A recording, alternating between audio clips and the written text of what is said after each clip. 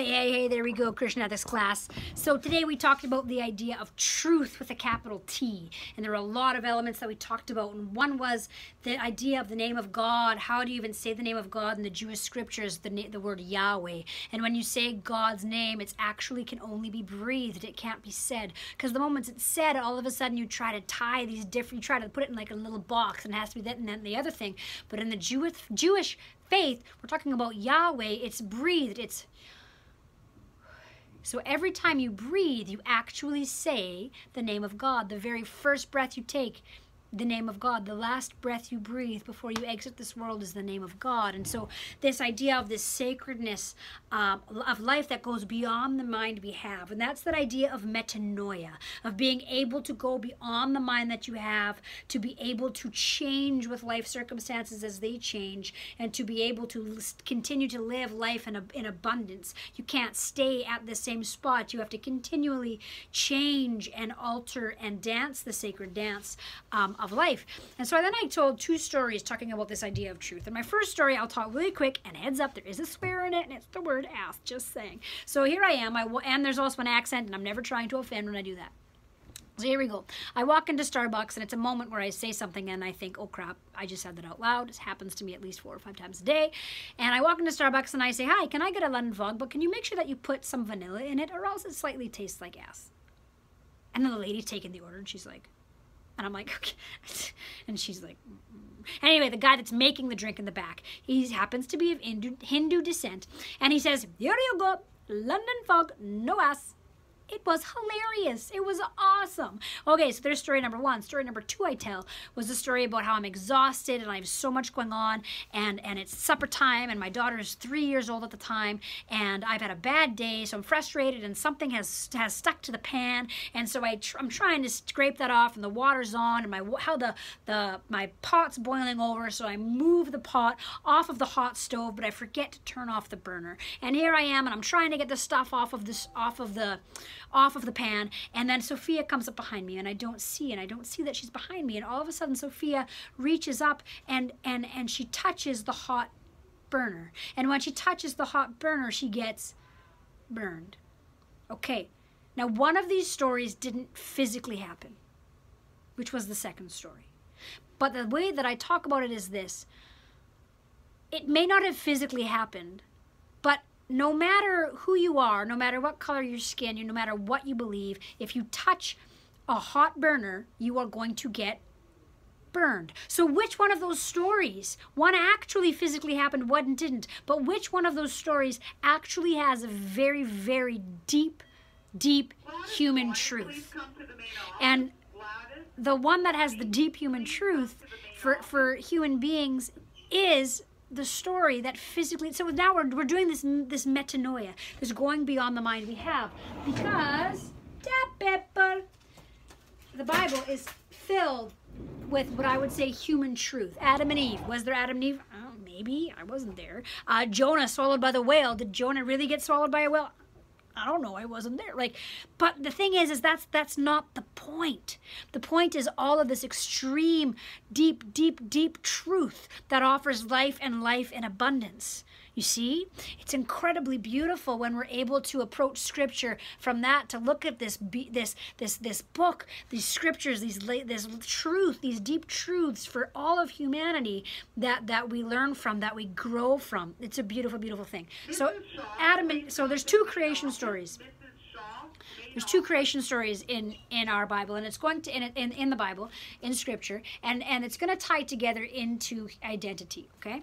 So your first creation story is um is it says at the beginning uh god created the heavens and the earth, and the earth was a formless void and darkness over. And it's just, it says that God created this and that and the other thing, and it was good. And God created this and that and the other thing, and it was good, and it was good, and it was good. And then the last thing God creates is is a human being. So there's Adam. That's my impression of Adam before he has the breath of life in him. And then I said it's also my impression of a hot dog. Okay, so God breathes in the breath of life, and Adam goes, Yahweh, right? He, he's alive, and, and there, there he is. And then after he created Adam, he says, yes, he looks at creation and says, it is very good, very good. That's the first creation story. You are not just good, you are very good at that core of your being. Uh, okay, creation story number two is with is with um, Adam and Eve. Okay, and so here you've got God's creating everything, everything, everything, and all of a sudden God says, "Let us create in our image, in our image and likeness, um, man." And so God creates Adam. And then he creates all of these other things and he creates um, uh, he creates and that's an important thing like in our image and god's image is beauty and love okay? That's how, how adam is created. And um, and then he says man shouldn't be alone and so he puts Adam to sleep and he takes the rib, Adam's rib out and creates Eve. And now that that isn't so that it's like, okay, you know, you came from my rib, therefore go make me a sandwich. Um, it's this idea. And, and the next story I see is like, what if I took a really long pin and I shoved it in my eyeball and everybody was ooh, you know, or what if you see somebody get poof hit right in the crotch? Right? And we, we tell these stories and we all have a reaction to it. And I say, why? If it's not happening to you, why do you react to it at all? And the reason is, is because we are that connected. We are that deeply connected. It's like we have come from each other's ribs. If I'm suffering, then if, if so so if you are suffering, then so am I. It's this deep, deep connection of this mystery of in, in life. And so that's what that is about, our deep connection. And then when Adam first sees Eve, he says, At last, bone of my bone, flesh of my flesh. Sounds kind of twilighty, but if you're looking at what it actually means, is like at last I'm complete because we need each other. We need each other in order to survive. And so there's that part. And then comes the, the serpent, okay? Here's the serpent, and, and this is where I talk about this being directly related to our life. And, and they're told not to eat from the garden, uh, from the tree of good and evil, knowledge of good and evil. And it says, because if you eat from this, uh, you will die. And also, Adam and Eve are naked and not ashamed. That's huge. They're not just naked bodily wise, but like they know each other completely. Like as we grow, something happens to me, you know, I get called a name and then all of a sudden I'm like, okay, I can't really be that part of me anymore because people call me names, but that's so we build a wall. And then we say, um, I, I, something else happens and I'm not accepted and then I, I build another wall. And then something happens and I get really sad and I build, and so we build these walls all around us. And, but this is saying they were naked. They were completely who they were and not ashamed. Adam's showed his entire, he was in his entire self to Eve and Eve says, I love you. And same with Adam to Eve and God to them. I love you just as you are as a beautiful, beautiful child of God. So there's that, okay? Now all of a sudden the serpent says to Eve, uh, you got to take a bite of this fruit. And, and she says, well, I can't because then uh, God says not to eat from that fruit. And then he says, oh, you know what? That, pff, you know, that, you know, the difference between good and evil. or, you know, you'll be like God. You should eat it. It's fine. And so she sees that the fruit is good for food, that it's a delight to the eyes, it'll make her wise. And so she thinks, well, why not? So she bites it. Adam bites it.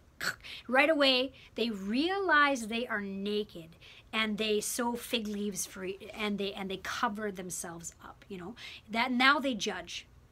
Now they're judging each other and they're hiding parts of themselves. You know, Adam's like, I can't believe that's how she made that fig leaf, and Eve's like, look at that stupid haircut, right? They're they're all of a sudden judging and and and and and feeling shame and putting shame on each other and then they hide from God they hide from God. Okay I and then I what I did is I told this story about Timmy and Tammy okay? So here's Tammy and Tammy's like oh, I'm studying and and Timmy's like I'm gonna call Tammy and so he calls Tammy and Tammy's like hello Timmy oh my gosh it's Timmy I'm so excited I love Timmy oh and so she ends up not studying and she and because she sees that this this moment for hers is it looks good it's a delight to the eyes it's gonna make her wise and so she goes out and they're like oh right? And then the next day she goes to write her test, and of course she can't pass it because she she like she didn't study and then a part and if that continues and continues and continues a part of her dies. It's, it's you have to go beyond that mind you have. A part of her dies okay?